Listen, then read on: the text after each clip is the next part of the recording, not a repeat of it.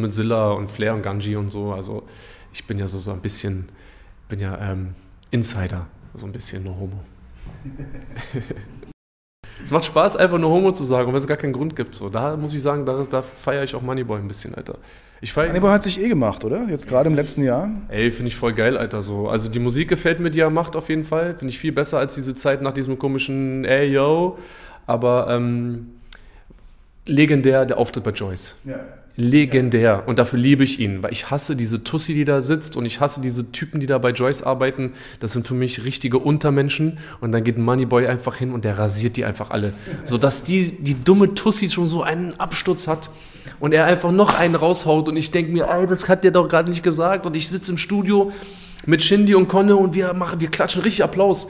Wir haben so, und ja, Mann, ja, Mann. Und er sitzt so wirklich da und so, so ja, ey, der Boy ja, okay, also vielleicht sollte man auch mal Heroin nehmen und so.